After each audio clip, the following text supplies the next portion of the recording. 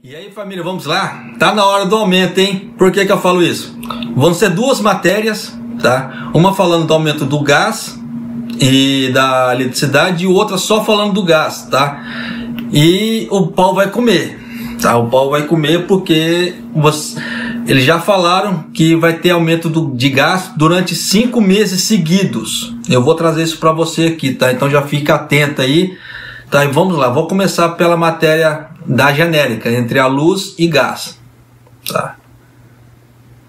Os preços da eletricidade e do gás para janeiro do próximo ano aumentarão em todas as grandes empresas de energia e gás. Então já pode ter certeza que já, se eles já estão anunciando que mês que vem, mês que vem não, desculpa, em janeiro, tá? Já vai ter aumento de novo, tá? O aumento do preço em todas as empresas pelo quinto mês consecutivo se deve ao aumento nos preços da importação do gás natural liquefeito, que é utilizado como combustível para a geração de energia térmica. De acordo com as principais empresas de energia elétrica, o preço da eletricidade para todas as empresas aumentarão em janeiro do próximo ano e vão ser aumentos monstros de novo, tá? Aumento, aumento monstruosos, tá? Isso se deve principalmente ao aumento no preço da importação do gás natural né, e carvão e o aumento do preço em todas as de, do preço de todas as empresas pelo quinto mês consecutivo. Ó, presta atenção com o tio aqui, tá? Com o tio Japa aqui. A proporção do aumento de um mês para o outro.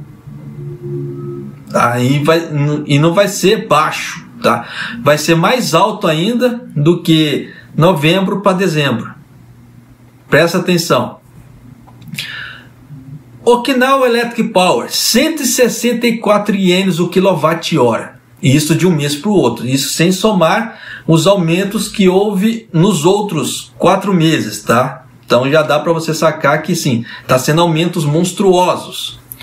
A Chubo Electric Power, 153 ienes, é onde que eu moro, infelizmente. Tokyo Electric Power, 146 ienes. Chugoku Electric Power, 140 ienes. Né? A Torroco, no caso assim, a energia elétrica de Torroco, 133 ienes. Para Kansai, 107 ienes. Para Shikoku, 104 ienes. Para Rokuriko, 86 ienes. Para Kyushu, 85 ienes. E para Hokkaido, 78 ienes. O preço do gás em janeiro para o próximo ano também aumentará por cinco meses consecutivos. Você vê que já estão avisando. Né, em todas as grandes quatro empresas, devido ao aumento no gás natural. Olhando para as residências com uso médio, tá? então você vê que eles já colocaram uma estimativa. O aumento de preço será de 113 ienes para o Osaka Gás e a Torro Gás, tá? 109 ienes para Tóquio Gás e 84 ienes para Saibu Gás, em comparação a dezembro. Então já dá para você sacar que o bicho vai pegar. Agora outra matéria, tá falando sobre os aumentos do gás aqui. Sobre a alta do, dos preços do gás em janeiro do próximo ano, por cinco meses consecutivos,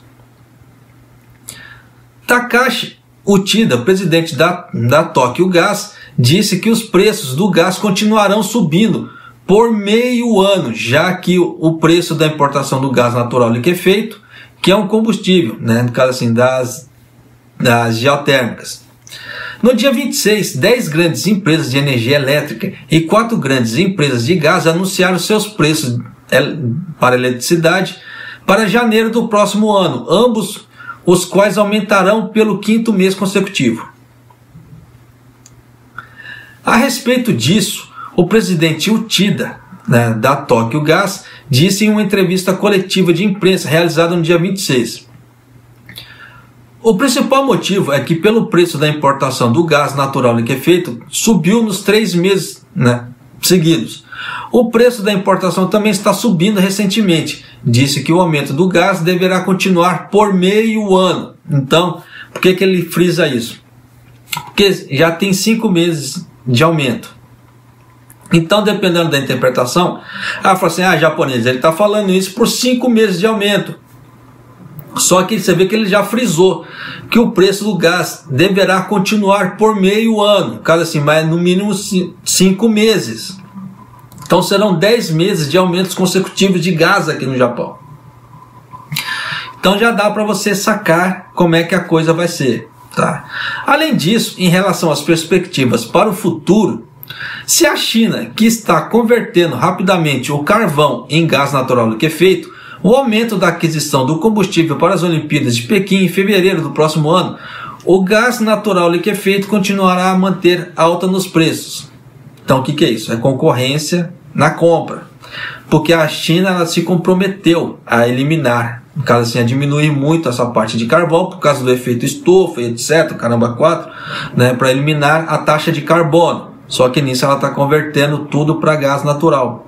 E nisso o que, que vai acontecer? concorrência nos preços, os preços vão aumentar e o Japão vai se lascar com essa ideia do gás natural do que é feito. Tá? Aí já me perguntaram várias vezes em outros, em outros vídeos, mas esse monte de placa de energia elétrica? Tá? Eu não vou nem responder aqui, porque eu já havia respondido em outros vídeos, e as pessoas têm preguiça de assistir os vídeos e acabam, né, como é que se fala assim, quer a resposta pronta de, de rapidamente e não querem ter o trabalho de assistir os vídeos. Então, como é que se diz assim, vai ficar sem a resposta. Mas já foi dito o porquê que eles não usam, não estão usando tanto a placa de energia solar, independentemente de ter muita placa instalada aqui no Japão. Quem mora aqui no Japão já viu que tem placas de energia solar instalada para tudo quanto é lado aqui no Japão. Tá, e eles estão aumentando isso ainda mais. Tanto que já saiu uma notícia, eu gravei aqui, que o Japão está ficando sem espaço para colocar energia de placa, energia de placa solar. Né? Então já dá para você ter ideia como é que eles investiram nisso. Só que em contrapartida, tá? Eu não vou explicar aqui. Se você acha que eu for explicar, ha, não vou. Assista o vídeo que eu já gravei falando sobre isso. Tá lá na playlist lá. Então já dá para você sacar, tá? Que daqui para frente aumentos terão. Então tome cuidado com as suas contas tá? Porque você terá que gastar mais com pagando gás e eletricidade daqui para frente. Então, se você aumentar muito suas dívidas, você vai ter menos dinheiro depois para você comprar outras coisas. Então, já tome cuidado daqui para frente. Então, você vê que o tio Japa aqui já está trazendo a coisa para você, tá? Já para você sacar em duas é, em duas matérias, ambas da NHK, tá? A fonte é NTK, quem tiver alguma dúvida, corre lá na página da NTK para ver se eu estou mentindo ou não, ou para ver se a tradução está errada, tá? Porque eu preciso traduzir para trazer isso para você. Mas de qualquer maneira, agora você já sabe que a bomba vai estourar daqui para frente no Japão, tá certo? Então, agora cada um que faça o seu melhor para economizar para poder sobrar um pouquinho mais de dinheiro, senão já sacou, né? Mas é isso aí, família. Um abraço, até o próximo vídeo e até mais.